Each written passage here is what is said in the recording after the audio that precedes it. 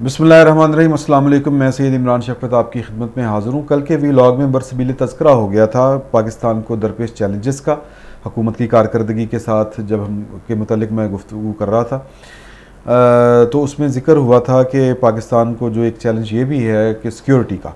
कि भारत जो है वो चीन में अपनी जो उसको हजीमत उठाना पड़ी है उसका ज़िम्मेदार पाकिस्तानी रियासती इदारों यानी पाकिस्तान की फ़ौज को सीधा सीधा समझता है कि शायद चीन के साथ मिल के या चीन ने जो एडवेंचर किया है उसके ख्याल में उसमें पाकिस्तान भी मुलवस है। तो कराची में अब उसके जब मैंने ये की, की बात तो फिर मेरे कुछ सोर्सेज हैं वो एक्टिव हुए उन्होंने मुझसे रबता किया तो मुझे कुछ इन्फॉर्मेशन दी है जो बड़ी खौफनाक है। तो कराची में आ, से मुतलक है ज़्यादातर और एक इंडियन प्लान जो है वो पाकिस्तान के सिक्योरिटी इदारों ने डिग आउट किया है ट्रेस किया है और कुछ लोगों को गिरफ़्तार किया है। उसकी तफसील है। मेरे पास जो मैं आपको बताने जा रहा हूँ अचानक से कराची में जो सिक्योरिटी हमलों सिक्योरिटी एहलकारों पर जो हमलों में तेज़ी आ गई थी, इसके बाद हसास इदारों ने बड़े पैमाने पर शहर में ऑपरेशन शुरू कर दिया था। ये मनज़म हमले कौन कर रहा था और इसके पीछे कौन था और अचानक इनमें तेज़ी कैसे आई, इसकी सारी तफसीत अब सामने आ चुकी हैं। आप जानते ही हैं, जिस तरह मैंने पहले बताया कि भारत लद्दाख में चीन से इबरतनाक शिकस्त खाने के बाद सुकून से नहीं बैठा। वो भारत के सर पर इस वक्त कहते हैं ना कि वो बदले की इंतकाम या इंतकाम उसके सर पर सवार है, सादा लफ्ज़ों में। तो उसने इसका इंतकाम लेने का तरीका क्या बनाया है कि पाकिस्तान और चीन में बैक वक्त अपनी जो प्रॉक्सीज़ हैं, उनको एक्टिव कर दिया है, जो पहले भी खैर एक्टिव ही थी, लेकिन उनको, उनकी ज़रा नए सिरे से सफ़ बंदी उसने की है। मेरे पास जो ज़्यादा मालूम हैं वो पाकिस्तान से मतलब हैं क्योंकि पाकिस्तान ही हमारा कंसर्न है। चीन में आप सिर्फ़ ये इशारा काफ़ी है कि अचानक से हांगकांग जो है वो चीन ची, चीन और भारत के मुकाबले में ज़ाहिर है कि वो भारत को पहले भी तो हल्का फुल्का सपोर्ट कर था बहुत ज़्यादा खुल के सपोर्ट उसने करना शुरू कर दिया है। तो पाकिस्तान में उसने आप जानते ही बलूचिस्तान में तो खैर पहले से ही बहुत कुछ कर रहा है तो अब उसने एक कोलेबोरेशन बनाया है। पाकिस्तान के बलूचिस्तान सिंध और कबायली इलाकों में उसने इन जो अनासर पाकिस्तान के ख़िलाफ़ हैं उनको इकट्ठा करके उनको एक्टिव कर दिया है। आ, हमारे जो सिक्योरिटी इदारों पर हमले वहाँ पे शुरू हो चुके हैं और इन हमलों पर पाकिस्तान के एक अला अफसर हैं सिक्योरिटी से मतलब उनकी ज़िम्मेदारियाँ हैं। उनसे मेरी आज ये गुफ्तु हुई है ये सारी मालूम मुझे उनसे मिली हैं और फिर मैंने क्रॉस चेक भी किया है। तारिक हबीब साहब एक पाकिस्तान के मरूफ सहाफ़ी हैं। कराची में उन, उनका काफ़ी दौर गुजरा है। जब कराची जिन दिनों बदअमनी होती थी तो उन्होंने कराची को बड़े अच्छे तरीके से रिपोर्ट किया है। उनके बड़े रिसोर्स हैं, उनके पास अंदर की ख़बरें होती हैं। तो मेरी इन ख़बरों की तस्दीक भी उन्होंने की है। तो मेरे जो सोर्स हैं, जिनका मैं आपसे ज़िक्र कर रहा हूँ, उनसे जब मेरी बात हुई कि ये अचानक से मामला जो तेज़ी आई है इस पर, उन्होंने मुझे बताया कि अल्लाह का शुक्र है कि ये हमले हो गए। क्योंकि इन हमलों ने ये छोटी नोयत के हमले थे मगर इन हमलों ने हमें बर वक्त अलर्ट होने का मौका दे दिया है। आ, हमारे इन्हीं ज़राए के मुताबिक अचानक से मुतहरक होने वाले नेटवर्क का सुराग पाकिस्तान के सिक्योरिटी इदारों ने लगाया भी है इस तक पहुँचे हैं और कुछ लोग जो हैं वो गिरफ़्तार भी हुए हैं। पाकिस्तान में मौजूद इस नेटवर्क के ऑपरेटिव्स जो हैं उनमें से कोई पाँच छः के करीब मेरी इतला के मुताबिक गिरफ़्तार हुए हैं। बाकी अब ये नेटवर्क जो है, इसको मज़ीद डी कोड करने की इस वक्त हमारे जो सास अदारे हैं, वो इस काम में लगे हुए हैं। तो हुआ ये है कि बलूचिस्तान में पाकिस्तान मुखालिफ सरगर्मियाँ करने वाली मुबैना भारतीय एजेंट्स ने, आपको पता ही है कि ये कौन लोग हैं? पाकिस्तान से नाराज़ लोग हैं और बर्मला ये कहते हैं कि हम पाकिस्तान के ख़िलाफ़ किसी से भी मदद लेने को लिए तैयार हैं। हर ब्यार मरी हैं बरामदाह बुकटी हैं। खुल्लम खुला ये इंडियन सपोर्ट जो उनको मिलती है उसका इतराफ़ करते हैं। तो उन्होंने वो ये कह लें कि जो बज, मिल रही थी उनको फंड्स जो मिल रहे थे पैसा जो मिल रहा था वो हासिल करने के लिए एक उन्होंने ढोंग रचाया कि हम सारे इकट्ठे हो गए। यानी इकट्ठे होकर पाकिस्तान के ख़िलाफ़ लड़ रहे हैं। जितने भी नाराज़ ग्रुप थे पाकिस्तान से बलोच नेशनलिस्ट जिन्होंने बंदूक उठाई हुई है। जो पहाड़ों पर चढ़े हुए हैं। तो इन तंजीमों के दरमियान जो है वो दो हज़ार अठारह में ही इसी पैसे पर इख्तलाफात पैदा हो गए थे और फिर इन्हों इन्हीं ग्रुपों में बाहमी तसादम शुरू हो गया और इन्होंने एक दूसरे को मारना शुरू कर दिया और जो इनकी लड़ाई में दहशतगर्द मरते थे तो वो उनकी लाशें जब मिलती थी तो पाकिस्तान में फिर शोर उठाने वाले उठाते थे कि ये, बल्कि ख़ुद भी ये बलोच जो लीडर हैं, ये कहते थे कि ये पाकिस्तान की सिक्योरिटी फोर्सेस का जुल्म सितम है। ये उस खाते में डाल दिया जाता था। बहरहाल ये तो होगी एक बात। तो अब उन ग्रुप्स को फिर जो है, उन्होंने कहा कि इंसान के बच्चे बनो, पैसे लो और जिस तरह हम बांटते हैं, उसी तरह ये आपने खाने हैं मिलके और जो हम आपको अगला मनसूबा दे रहे हैं, उस पर आपने काम करना है।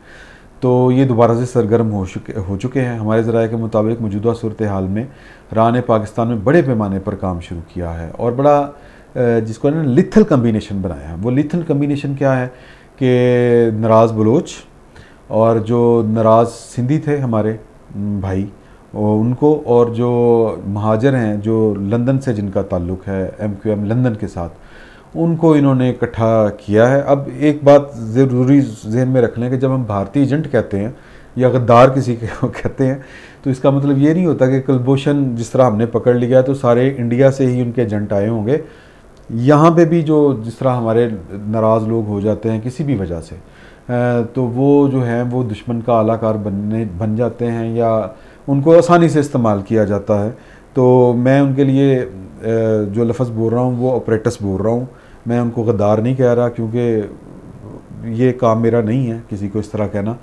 तो ये काम जो है, वो किसी अदालत का है। बहरहाल, हम इस बहस में नहीं पढ़ते तो हमारे खुफिया अदारों के लिए जो हैं, वो ऐसे अनासर को इस्तेमाल करना उनके लिए बड़ा आसान है। इंडिया के लिए तो वो कर रहे हैं। इस हवाले से सिंध में एम क्यू एम के धड़ों में मौजूद जो अनासर हैं, जिस तरह मैंने आपको बताया कौम परस जो सिंधी तंजीमें हैं, वो हैं। कबायली इलाकों के जो नाराज़ लोग हैं, वो हैं, जो दुश्मन के हाथों में खेल रहे हैं, इन पर मुश्तमिल एक बड़ा लिथल कम्बिनेशन बनाया, एक नेटवर्क बनाया, ये जो नया अलाइंस है।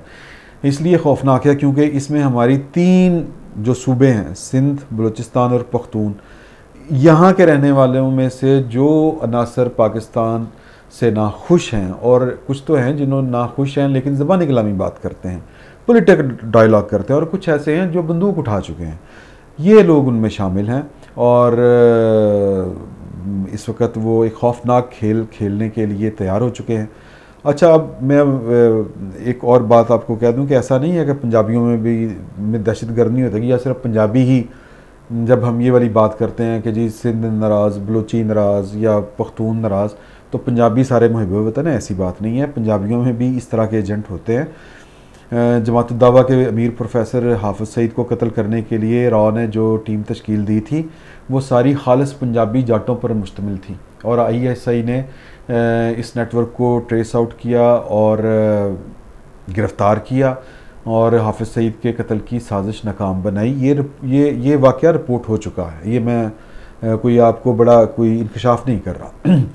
तो भारत जो बलूचिस्तान में दहशत गर्दों को बलोच लिब्रेशन फ्रंट के नाम पर इकट्ठा करके पैसे बांट रहा था। अब सिंध में सिंधु देश रेवोल्यूशनरी आर्मी को अचानक से सामने ले आया है, जिसमें शफ़ी बरफत जैसे पाकिस्तान मुखालिफ शामिल हैं, जो पहले रेलवे ट्रैक्स पर हमले करते थे। अब इस, यानी सिंधु देश रेवोल्यूशनरी आर्मी के प्लेटफॉर्म से अब खुलकर वो भी सामने आना शुरू हो गए हैं और हमारे जो सिक्योरिटी के अदारे हैं, उन पर वो हमले कर रहे हैं।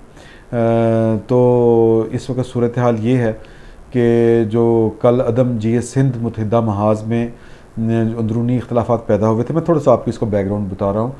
ये ग्रुप उस इख्तलाफा की वजह से बना और इससे कबल तहकीकती इदारे जो हमारे हैं, वो कलदम सिंध लिब्रेशन आर्मी का ताल्लुक जी एस सिंध मुतहदा महा से जोड़ते आए हैं। सिंधु देश जो है सिंधु देश रेवोल्यूशनरी आर्मी गुलशन हदीद में चीनी इंजीनियरों की गाड़ी सखर में सी पैक एहलकारों समेत कराची में एक एस एच ओ और रेंजर्स पर हमलों की ज़िम्मेदारी कबूल कर चुकी है। ये अस्करियत पसंद ग्रुप चीन इकतदी राहदारी जो है, पाक चीन इकतदी राहदारी सी पैक जिसे कहते हैं, उसकी मुखालिफ है और सिंध के मादनी वसाइल पर मकामी हकूक़ जो हैं, उनका उनका हामी है ये ग्रुप। हालाँकि ये अठारहवीं तरमीम में ये हकूक़ दिए जा चुके हैं। तो सिंध देश रेवोल्यूशनरी आर्मी को अस्कर शाह ग्रुप भी कहा जाता है, जिसका सरबरा शाह नायत के नाम से पहचान रखता है। असगर शाह 2005 में गिरफ़्तार हुए और पाँच साल के बाद उनकी रहाई अमल में आई, जिसके बाद उन्होंने अपना ये वाला ग्रुप उठाने का फ़ैसला किया। कलदम सिंधु देश रेवोल्यूशनरी आर्मी का कहना है कि जी एस सिंध महाज के सरबराह जो हैं, वो शफ़ी बरफत मुसल्ला जदोजहद से दस्तबरदार हो गए थे, मगर इस दौरान उनके चालीस साथियों को हलाक कर दिया गया, जिसके बाद वो इंतकामन जो हैं वो दोबारा ये वाला काम कर रहे हैं और इस वक्त शफ़ी बरफत और उनके जो साथी हैं वो जर्मनी में सियासी पना लिए हुए हैं और वहाँ से बैठ के ऑपरेट कर रहे हैं इंडिया के साथ मिल के तो सिंध में हालात मज़ीद ख़राब करने की गरज से इंडिया ने जो कम्बिनेशन बनाया है, उसमें एम क्यू एम लंदन को एक्टिव रोल दिया है। भारत का नया मनसूबा ये है कि एम क्यू एम लंदन के साथ जितने भी लैदगी पसंद नासर हैं, उनको मर्ज कर दिया जाए और इन धड़ों की जो सरबराही है, वो अल्ताफ़ सैन को दे दी जाए। और अल्ताफ़ सैन आपको पता है कि एक वक्त था, कहते थे, वो नारा लगाते थे कि बाबा महाजर उनको कहलवाने का शौक़ होता था। ये नारे भी लगवाते थे, कहलवाते भी थे। अब वो बाबा सिंधु देश कहलवाना उन्होंने शुरू कर दिया है। और, आखिरी खिताब में अगर आपने उनका सुना हो तो इसका उन्होंने बरमला इजहार भी किया है। हमारी सिक्योरिटी एजेंसी इस हवाले से भी तहकीक कर रही हैं कि पाकिस्तान में काम करने वाली जो एम के एम पाकिस्तान है, उसके कौन कौन से रहनमा इस वक्त लंदन के साथ रबते में हैं? क्योंकि अगर वो लंदन के साथ रबते में हुए तो फिर वो जो ये इंडिया का नया प्लान है जो पकड़ा गया है, वो पकड़ा किस तरह गया है कि लियाताबाद पुल के करीब जो बम धमाका हुआ था, सिक्योरिटी एहलकारों पर जो हमला हुआ था, उस केस की तफ्तीश के दौरान जो कह लें कि एक औरंगी टाउन में एक घर में छापा मारा गया। वहाँ पर एक, जो थी महाजर फ्रीडम लिबरेशन जो है एक तंजीम, फाइटर एक तंजीम है वो पकड़ी गई। वो पता चला कि ये बेसिकली जो है महमूद सदीकी, ये उनके साथ रबते में है। Mahmood Siddiqui M K M K वो रहनुमा हैं जो बड़े अरसे से इंडिया में मुकीम हैं। और इस वक्त जितना भी काम सिंधु लिब्रेशन आर्मी और इसको मर्ज करने का हो रहा है और बलोचियों को जो शामिल किया जा रहा है इस सारी नई मूवमेंट में या नए मंसूबे में, ये बुनियादी जो रोल है इंडिया में बैठकर, वो महमूद सदीकी प्ले कर रहे हैं। तो उन तक वो लोग गिरफ़्तार हो चुके हैं। और जो कॉल ट्रेसेस हुई हैं पाकिस्तान में, उनमें कुछ लोग जो हैं, वो पाकिस्तान एम क्यू एम के भी हैं और वो बताया ये जा रहा है कि उनके गिरद भी घेरा तंग हो रहा है। तो इस वक्त सूरत हाल ये है कि पाकिस्तान के सिक्योरिटी इदारों को ये नया प्लान इंडिया का वो डी कोड कर चुके हैं, मज़ीद डी कोड कर रहे हैं। और जो असला इस्तेमाल हो रहा है इसमें, जो लोग मुलवस हैं इसमें उनकी जो आप समझें कि उनको भी डी कोड किया जा रहा है और बहुत जल्द बड़े पैमाने पर बड़ी गिरफ्तारियाँ सामने आने वाली हैं। दूसरे लफ्ज़ों में पाकिस्तान के जो सिक्योरिटी से मुतल इदारे हैं ये उनको एक पाकिस्तान की सलामती के हवाले से एक बड़ी कामयाबी मिली है जिसमें भारत जो था वो पाकिस्तान के ख़िलाफ़ एक जहरीला काम, एक जहरीला मनसूबा यानी पाकिस्तान और सिंध को अलहदा या यूँ कह लें कि सिंध को पाकिस्तान से अलहदा करने का, बलूचिस्तान को तो वो करना ही चाहता है। तो अब वो सिंध को जो उसका नया मनसूबा था, अगर हम इसको बॉटम लाइन पे आएँ तो वो ये है कि इंडिया बलूचिस्तान के बाद अब सिंध को भी पाकिस्तान से अलहदा करने का प्लान बना चुका है, जो पाकिस्तान के सासदारों ने डी कोड कर दिया, कर लिया है, और इस पर काम हो रहा है। अल्लाह ताला से दुआ है कि अल्लाह ताला पाकिस्तान की सलामती बरकरार रखे। बहुत बहुत शुक्रिया।